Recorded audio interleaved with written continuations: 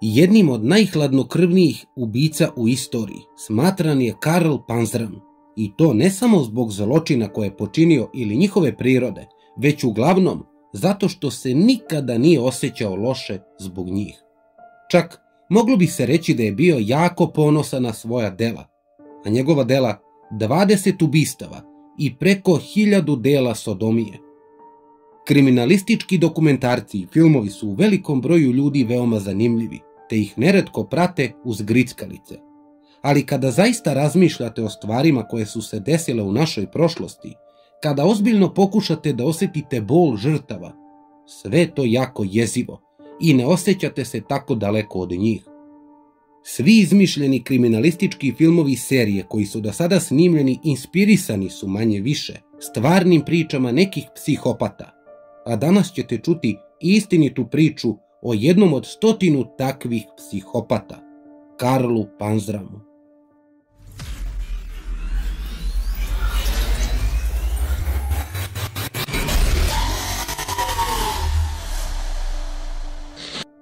Ukoliko Karla Panzrama potražite na Wikipediji, taj sajt opisuje ga na sljedeći način. Američki serijski ubica, silovatelj, pljačkaš, provalnik i palikuća. Pošteno.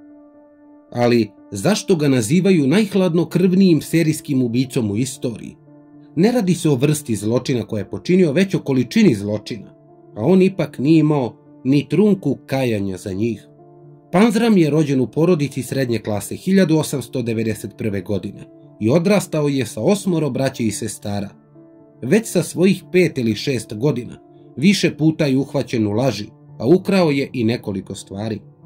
Budući da je priroda njegovih zločina u to vreme bila mala i sitna, niko nije primetio psihopatsko ponašanje koje se vremenom polako razvilo u njegovom umu. Godine 1903. sa njegovih 11 godina suđeno mu je na sudu za maloletnike zbog pijanstva. Karl je uhapšen i smešten u popravni dom za maloletnike u Minnesoti. Objekat je bio daleko od toga da bude mesto koje bi ga reformisalo ili mu omogućilo bolji život. Tačnije, u tom objektu zaposleni su ga redovno tukli, mučili i silovali. Užas je bio toliki da je to mesto nazvano Farbara, jer bi deca izlazila iz objekta sva crvena od modrica i tragova krvi. Karl Panzram bio je mučen do te mere da je hteo da spali celo mesto, što je i učinio 1905. godine sa svojih svega 13 godina. Niko nije saznao ko je to uradio, te se stoga Karl izvukao. Međutim, ubrzo je ponovo uhapšen i to u krađe novca, a u tom uzrastu također je pretio pištoljem jednom svešteniku. Otišao je od kuće da bi postao migrantski radnik, a često je putovao autobusima i vozovima. Priznao je da ga je jednom grupno silovala grupa radnika migranata u vozu. Panzram je ubrzo ušao u sve zločina zajedno sa jednim od svojih cimera iz zatvora, a oni su sprovodili pljačke, krađe i paljevine širom Montane. Sa svojih 15 godina, 1907. Panzram se upisao u vojsku Sjedinjenih država, a ubrzo nakon prijema osuđen je za krađu i poslat u zatvor do 1910. I ovo je posebno uticalo na njega, jer je tvrdio da su dobrota i ljudskost koji su ostali u njemu, u tragovima do duše, sasvim nestali tokom odsluženja ove zatvorske kazne.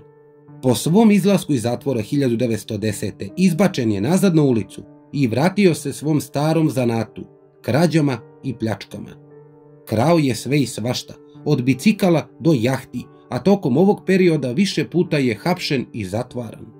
Dok je bio na osluženju zatvorske kazne, često bi napadao i udarao policajce i odbijao da poštuje njihova naređenja. Policajci bi ga tada svaki put sve oštrije tukli i kažnjavajući, pretvarajući ga u čoveka u kome je do tada ostala samo mržnja. Karl Panzram je u svojoj autobiografiji pomenuo da su ga ovi incidenti u njegovom životu pretvorili u nekoga sa ekstremnim nivom besa. A pošto je dosta vremena proveo u zatvorima, Nivo stresa i besa je bio ogroman. Bio je čovek ogromne fizičke snage i džinovskog rasta. Panzram je jednom prilikom putovao ka Teksasu vozom i došao u jedan mali grad gde je napao, pretukao i zadavio čoveka samo da bi mu ukrao 35 dolara. Nastavio je sa svojim krađama i ponovo bio u zatvoru 1911. godine zbog krađe bicikla, a potom 1913. godine zbog pljačke na autoputu. Svaki put Karl bi izašao iz zatvora za svega nekoliko meseci. I svaki put kada je uhapšen koristio je različita imena i lične karte kako bi sakrio svoj pravi identitet. To mu je dalo prednost u odnosu na policiju i vlasti. U to vreme nije postojao internet ili centralna baza podataka građana koja bi pratila ljude sa tolikom preciznošću. Dakle, kriminalci su tada bili korak ispred vlasti. 1915. godine Panzram je konačno uhvaćen zbog pljačke kuće u Oregonu i tamo je osuđen na 7 godina zatvora. Upravnik tog zatvora bio je poznat po tome što se prema zatvorenicima ponašao grubo, a zatvorenike je često tukao, podvrgavao ih izolaciji i drugim metodama torture. Karl Panzram ne samo da izazvao upravnika i druge službenike govoreći da će pobeći iz zatvora, već je pomogao i drugom zatvoreniku da to učini. Izrečeno mu je nekoliko kazni izolacije, uključujući i samicu od preko dva meseca. Konačno je pobegao iz zatvora 1917. Ali sreća mu je ubrzo izbledela. Ponovo je uhapšen i ponovo zatvoren, da bi još jednom pobegao 1918. godine. Do tada Karl je već promenio izgled, obrijao brkove i počeo da koriste ime John O'Leary. Preselio se u New York i dobio identitet mornara. Krenuo je brodom za Panamu, gde je uz pomoć pijanog mornara pokušao da ukrade čamac. Ne, mornar nije bio samo pijan, već je bio i lud. Ubio je sve koji su se nalazili na brodu, ali vrlo brzo je i uhapšen. Panzram je tada otišao u Peru da radi u rudnicima bakra, zatim je putovao u Čile, u Teksas, Edimburg, London, Pariz i Hamburg. 1920. godine Panzram je opljačkao kuću oficira koji je bio odgovoran za njegovu kaznu u zatvoru Leavenworth, kada se upisao u američku vojsku, dakle daleke 1908. Ukrao je veliki broj obveznica, nakita i gotovine, ali i pištolj. To je bilo vreme kada je krenuo u ubistava, koja ne samo da su trajala čitavu deceniju, već su se protezala i u više zemalja. Od ukradenog novca kupio je jahtu po imenu Akista. Tada je počeo da mami mornare iz njurških gradskih barova, kupovao ih pićem, silovao ih i pucao u njih ukradenim pištoljem. Zatim bi njihova tela bacio blizu Long Islanda. Tvrdio je da je na sličan način ubio desetak mornara.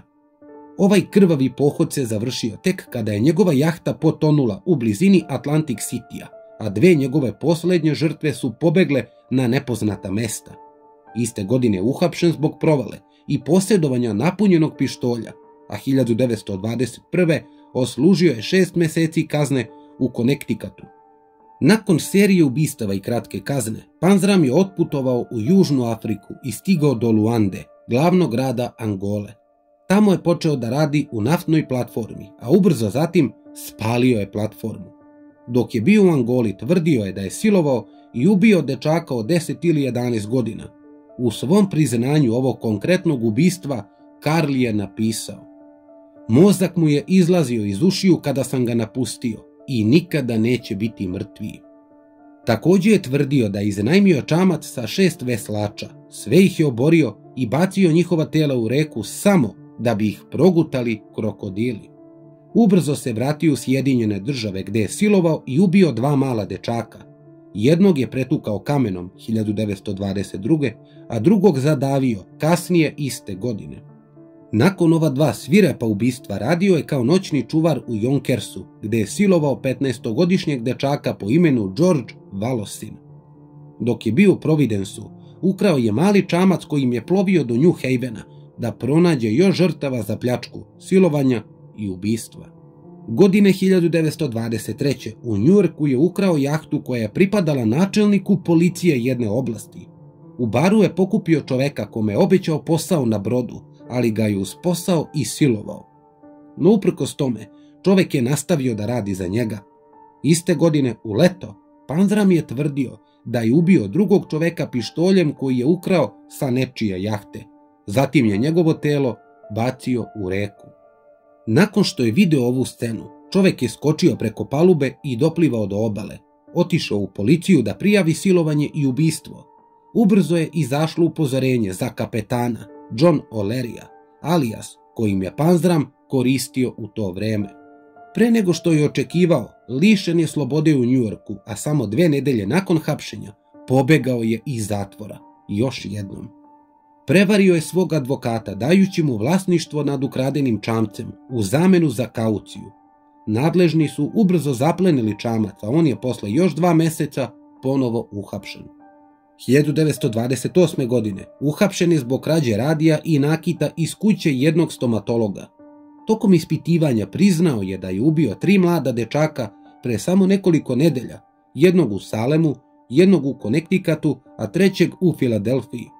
I sam je napisao pismo u kojem je naveo da je počinio više dela sodomije, silovanja i ubistava. Priznao je i da je arsenom trovao gradski vodovod. Kada su saznali za njegov kriminalni dosije, dobio je 25 godina do doživotne robije, a po odlasku zatvor osuđen je jer je pretio upravniku da će ubiti svakog čoveka koji ga bude dirao. U zatvoru dobio je posao u zatvorskoj vešernici gde je poznato da je drugi zatvorenik po imenu Robert Varnke uznemiravao i maltretirao druge zatvorenike. Pandra mu je dao više upozorenja, ali ovaj ga nije poslušao i konačno u leto 1929. Panzram je na smrt pretukao Vankea gvozdenom šipkom. To je bio incident zbog kojeg su ga sudije osudile na smrt, jer je postao opasan čak i za zatvorenike u zatvoru sa njim. Što se Karla tiče, on ne samo da nije pisao žalbe na svoju presudu, već je i aktivistima za ljudska prava napisao sledeće. Jedino hvala vama i vašoj vrsti koji ćete ikada dobiti od mene za vaše napore u moje ime jeste to što bih voleo da svi imate jedan vrat i da stavim svoje ruke na njega. Dok je čekao izvršenje smrtne kazne, sprijateljio se sa policajcem po imenu Henry Philip Lesser, koji mu je često pomagao da kupi cigarete u zatvoru. Ovaj jednostavan čin ljubaznosti izazvao je strahopoštovanje kod Panzrama i dok je bio osuđen na smrt tražio je materijal za pisanje i tada je napisao detaljan sažetak svojih zločina sa vremenskim i datumskim pečatima. Pisao je i o svojoj nihilističkoj filozofiji mračnim mislima. Pojasnio je da ni u jednoj od svojih pljački ubistava ili silovanja nije osetio ni trunku krivice, kajanja ili bilo kakvog drugog oblika emocije. Njegova autobiografija počinje sledećim redovima. U svom životu ubio sam 22 ljudska bića, počinio hiljade provala, pljački, krađa, paljevina i na kraju, ali ne i najmanje važno, počinio sam sodomiju nad više od hiljadu muških ljudskih bića. Za ove stvari nije mi ni najmanje žao. 5. septembra 1930. godine Karl Panzram je konačno obešen, a pošto su policajci pokušavali da ga nateraju da nosi crnu kapuljaču pre pogubljenja, on je navodno pljunuo u lice jednog od dželata. Kada su ga pitali za poslednje reči, Karl je rekao De požuri, kopile Hosijer, mogao bih da ubijem još desetak ljudi dok se ti zajebavaš. Grob Karla Panzrama nalazi se u zatvorskom groblju Livenworth, gde je umesto njegovog imena ispisan samo njegov zatvorski broj 31614.